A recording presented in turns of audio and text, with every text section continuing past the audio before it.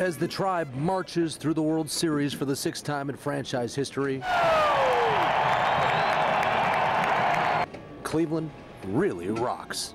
And among the 40,000 plus who filled Progressive Field for game one, were plenty of familiar faces. Huge Tribe fan. It goes back to Stan Brzezicki and uh, with uh, my arch rival, the Cathedral Preparatory School. Uh, actually, uh, Stan Brzezicki is the guy that got me the job, Craig. So I got to give kudos to him. But him and I are both huge Indians fans, and I love, I love that my uh, that my family, my mom and dad, all my siblings are are uh, able to watch the Indians in the World Series. I feel you, Coach. My dad and brother didn't want to miss the chance to root on their favorite team either. I feel like I've died and I'm not sure if this is heaven or hell. Ask me in a few days. Looking at the sign that says 2016 World Series, says Cubs and the Indians, I really don't believe it. But I'll believe it if they win it all.